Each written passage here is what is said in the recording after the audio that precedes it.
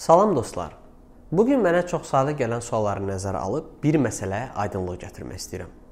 Sual əksərən belə olur. Orxan müəllim, siz əsasən listening, dinləmə metodunu tətbiq edirsiniz. Və siz dərslərinizdə də heç vaxt writing və yaxud da ki reading bölməsini işlətmirsiniz. Mənim cavabım budur dostlar. Mən ilk xüsusilə sıfırdan başlayan insanlar üçün və mərkəzimizdə də bu metodu tətbiq etmişəm ki, Sıfırdan başlayan tələbələr ilk 4 ay ərzində demək olar ki, yazmasınlar və oxumasınlar. Onlar yalnızca dinləsinlər və danışsınlar. Sir deyil ki, siz bəzi kurslara getmisiniz böyük ehtimal ki, və yaxud da ki, fərdi müəllim yanlarına getmisiniz. Orada sizə elə ilk gündən nə öyrədilir? Birincisi qrammatika, ikincisi söz bazası və çoxlu reading.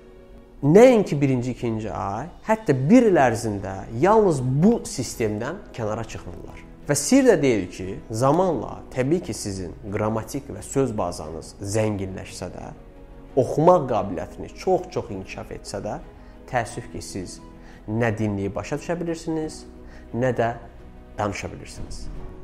Ona görə də mənim üçün üstün olan metod bundan ibarətdir ki, tələbələr ilk öncə dinləyib başa düşməli və danışmağı bacarmalıdır. Nəyə görə?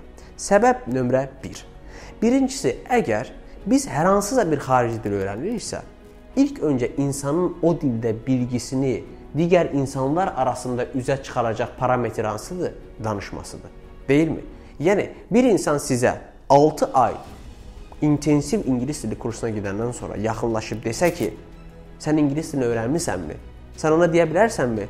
Mən öyrənmişəm, amma danışa bilmirəm. Amma mənim qrammatikam yaxşıdır ha, amma mənim söz bazam 10 mindən çoxdur ha. Və yaxud da ki, mən müəyyən mövzularda oxuyuram, bilsən necə tərcümə edə bilərəm? O adam üçün o maraqlı deyil. O adam sizə sual verəcək. Danışa bilirsən? İngilisi dinləyib başa düşə bilirsən, yoxsa yox? Və təbii ki, 6 aylıq intensiv kursdan sonra bu suallara cavab verməyən tələbədə tədricən motivasiya öləcək və onda belə bir düşüncə yaranacaq. Böyük ehtimal ki, mən ingilis dilində danışa bilmirəm və bilməyəcəm. Çünki 6 ay mən kursa getmişəm. Əgər danışa bilmirəmsə, demək ki, bu dinmənlikdir. Ona görə də mənim metodumda ilkin aylardan xüsusilə dinləməyə və danışmağa köklənməyin səbəbi budur ki, insanlarda bir nömrəli psixologiyaların güclənməsinə xidmət edir.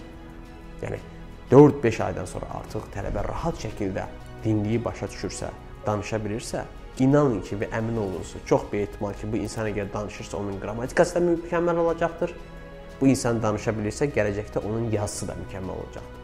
Və sir, sir deyil ki, və mən bunu tez-tez tətbiq edirəm, 6 aydan sonra rahatlıqla bu iki skill, yəni dinləmə və danışma olandan sonra mən çox qısa müddətdə həm onların qrammatikalarını mükəmməlləşdirirəm, həm onların oxuyub anlamasını mükəmməlləşdirirəm və ən sonunda isə writing, yəni yazı qabiliyyətini. Ona görə də dostlar, mənim speaking və listening metoduna önəm verməyim, önəmsəməyimin bir səbəbi də əslində budur.